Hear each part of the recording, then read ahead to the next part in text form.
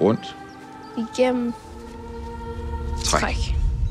Situationen med de mange ankomne tyske flygtninge bliver stadig mere kaotisk. Værnemagten vil sprede de mere end 200.000 civile tyskere til hele landet. Ihre Schule ist nicht die einzige.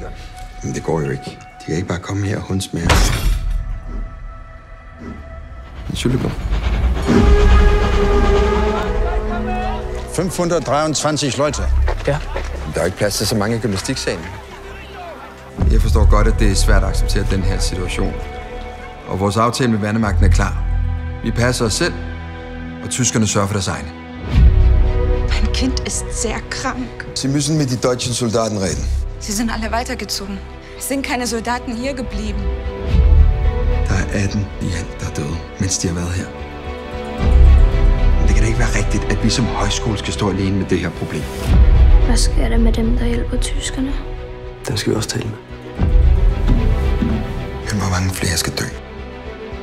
Hvis jeg kunne, så sendte jeg alle sammen tilbage med det samme. Men det kan jeg ikke, på grund af de samarbejde med værnemagt. Der er ikke tale om et samarbejde. Jeg kan ikke forsvare, at flere mennesker dør, slet ikke børn. Vi skal ikke hjælpe dem mere, vel? Jeg er bange for, hvad der sker med vores familie. Jeg er bange for, hvad de gør med dig.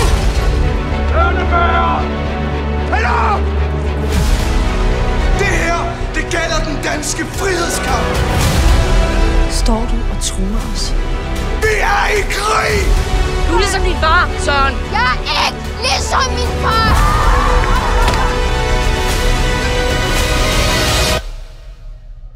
Hvad skal jeg sige til vores børn?